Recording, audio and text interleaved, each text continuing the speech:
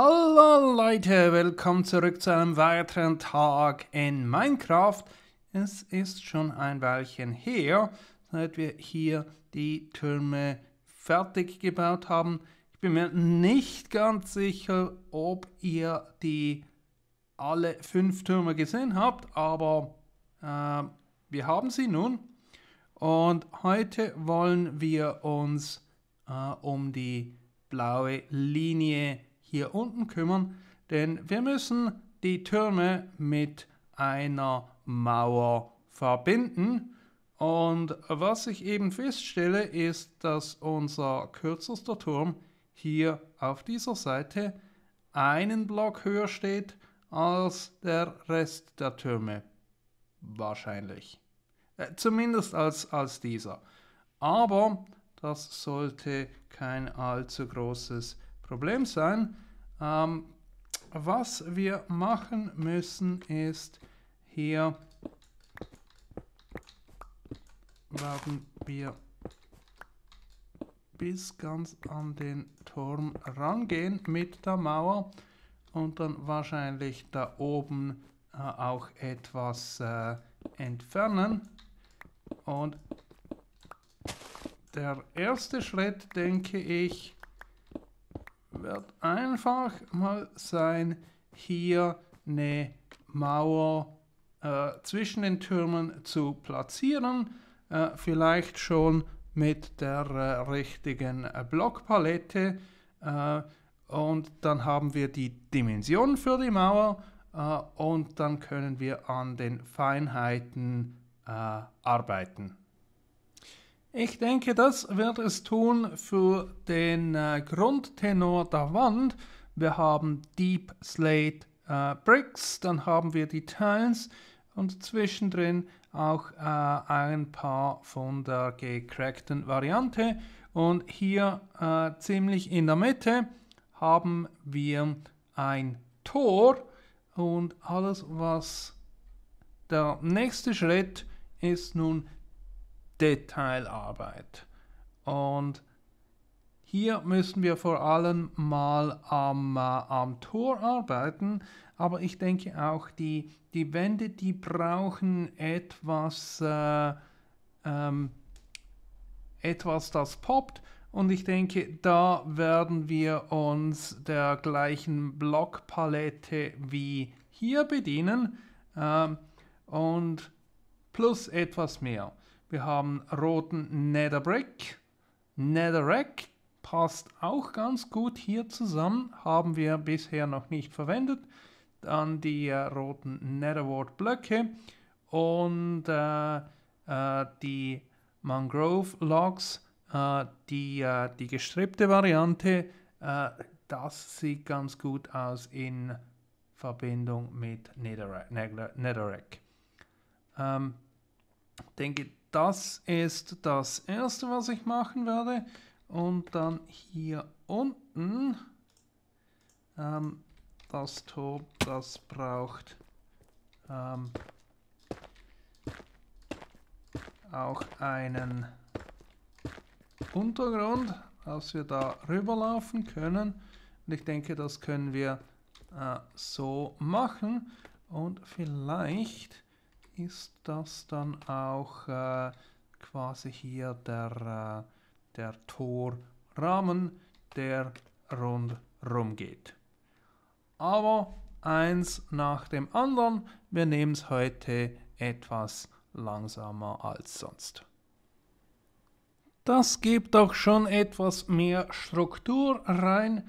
Ähm, und auch hier mit dem Tor das habe ich hier auf beiden Seiten etwas äh, verbreitert und damit wir einen etwas runderen Eindruck bekommen, hier oben mit Treppen. Was uns noch fehlt, denke ich, äh, äh, etwas mehr Details, vielleicht so mit äh, Wallblöcken in den Ecken und vielleicht links und rechts eine Säule, die bis ganz nach oben geht, äh, um das ganz, um dem Ganzen einen, äh, äh, solideren Eindruck zu verschaffen. Und oben äh, brauchen wir auch etwas äh, ein, wie einen äh, Wehrgang, denn das Ganze sieht etwas dünn aus. Und da oben denke ich, da können wir doch etwas mit, mit Treppen machen, ähm, die wir dann hier nach vorne legen und dann können wir unter den Treppen äh, entweder Treppen oder äh, äh, Slabs haben, um dem Ganzen auch da oben etwas Struktur zu verleihen. Die Brüstung hier oben sieht etwas besser aus, aber sie ist mir noch etwas zu wenig hoch. Äh, darum denke ich, vielleicht, wenn wir da noch äh, mit was äh, Wallblöcken nachhelfen. Und auf diesen Wallblöcken können wir dann vielleicht auch äh, Laternen oder äh, Kerzen platzieren, denn die Fackeln hier hinten sind temporär. Und hier unten äh, haben wir zwei Säulen, die bis ganz nach oben gehen. Äh, die sehen noch etwas zu fade aus. Ähm, und da müssen wir mal überlegen, was wir, was wir da machen können.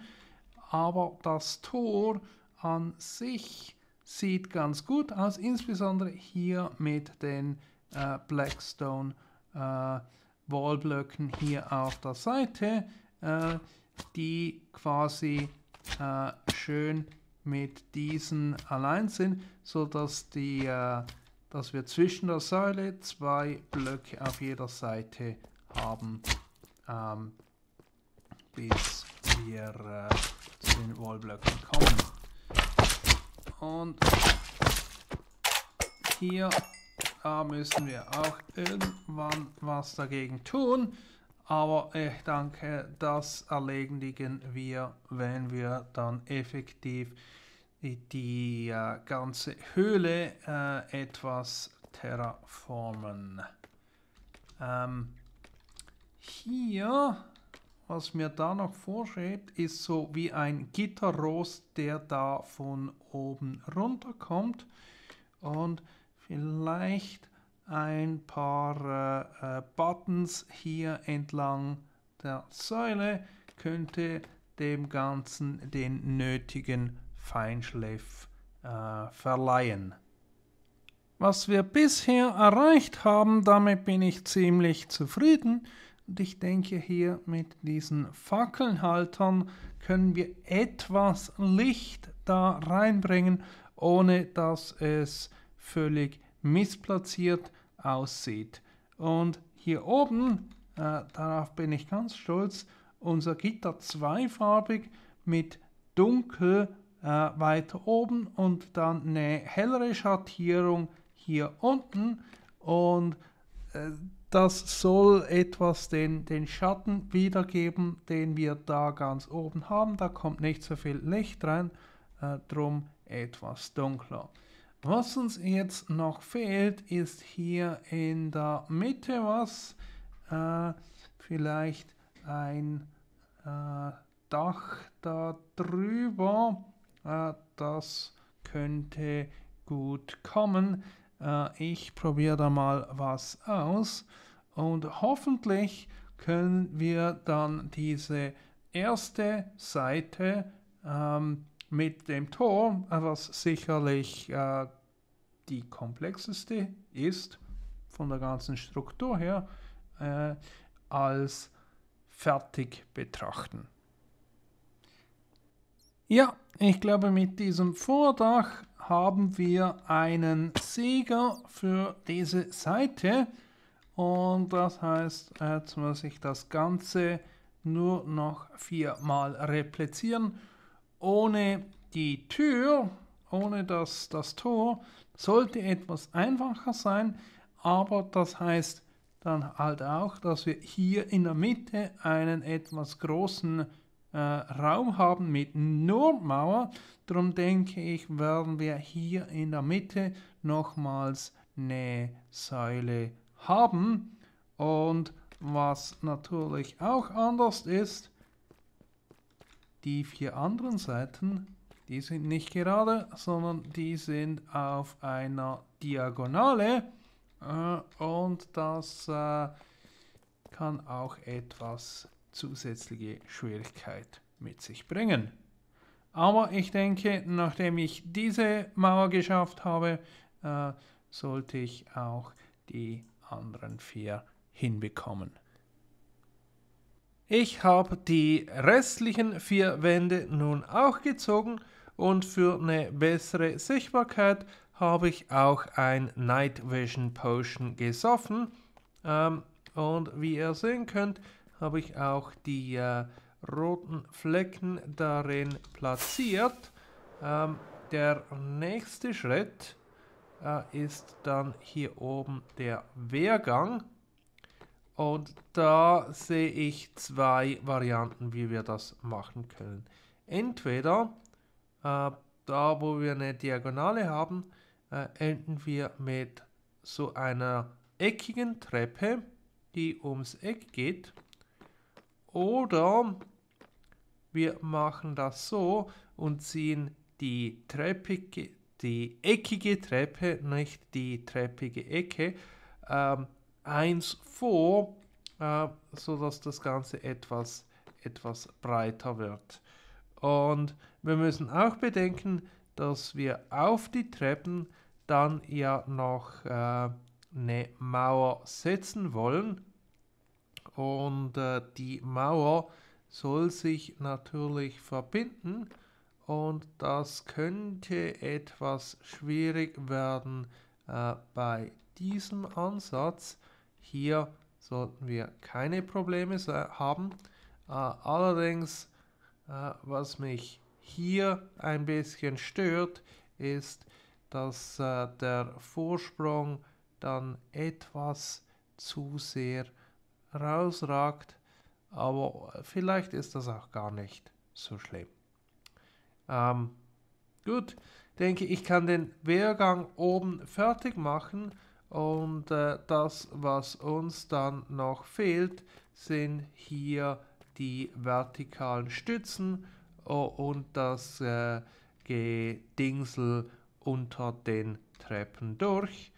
Und äh, dann müssen wir mal schauen, äh, brauchen wir noch mehr Dekoration auf der Seite oder äh, ist das detailliert genug?